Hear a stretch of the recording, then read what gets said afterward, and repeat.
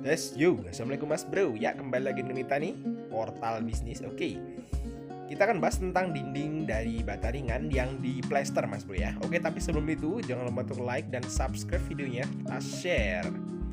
Oke mas bro, ya ada yang menanggapi nih tentang dinding bata ringan yang di plaster ya. Jadi kalau dinding bata ringan di plaster itu adalah bodoh karena akan menambah kos gitu ya. Oke ya, kalau menurut kita nggak semuanya benar ya. Jadi nggak semua orang yang memlester dinding bata ringan itu orang bodoh gitu mas ya. Oke ya, ada beberapa alasan sih kenapa bata ringan itu diplester ya. Memang kerugiannya, keunggulan bata ringan kan memang bisa langsung diaci gitu ya. Jadi yang masa rapi langsung diaci nggak usah plester bisa tapi ada juga yang memilih di plester dulu tipis gitu. Plester tipis mas bro. Ini tipis ya plesternya ya nggak tebel seperti bata merah. Ya memang dia nambah kos atau biaya ya. Mungkin dari keseluruhan bangun rumah jadi nambah sekitar 5 eh, sampai 7% seperti itu mas bro. Tapi ada beberapa keunggulan sih bata ringannya di plaster ya dia jadi lebih kuat mas bro. Ya kalau misalnya mas bro mau maku-maku ya mau dipaku temboknya atau mau dipasang figura atau gantungan-gantungan yang berat ini jadi lebih kuat double ya daripada langsung diaci aja gitu. Karena memang plaster itu bikin menguatkan menguatkan apa namanya dinding gitu ya. Bata ringan pun kalau eh bata merah pun kalau plesterannya jelek ya tetap aja muprul ya sama aja gitu ya. Jadi ini kualitasnya jadi sama seperti bata merah. Tapi dengan keunggulan bata ringan ya.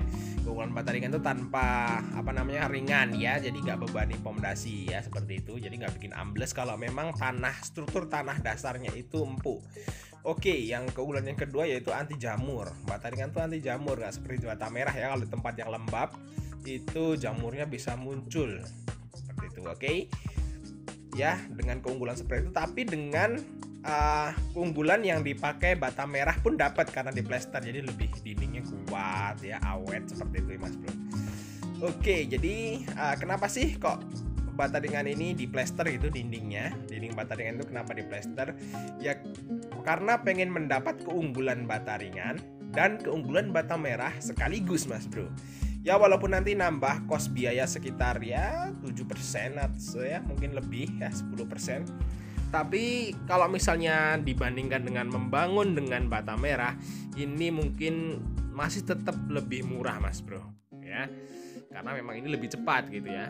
Karena bata merah pun kan di plester. Tapi untuk pemasangan bata ringan lebih cepat seperempatnya seperti itu, Mas Bro ya. Jadi ngirit tetap ngirit lebih ngirit uh, biaya tukang yang bata ringan di plester daripada bata merah di plester seperti itu, Mas Bro. Jadi ya alasannya bukan bodoh ya dia. Berarti uh, si empu yang punya rumah ini kenapa kok bata ringan di plester ya alasannya itu. Pengen dapat keunggulan bata ringan dan keunggulan bata merah. Oke okay, mas bro sampai ketemu di video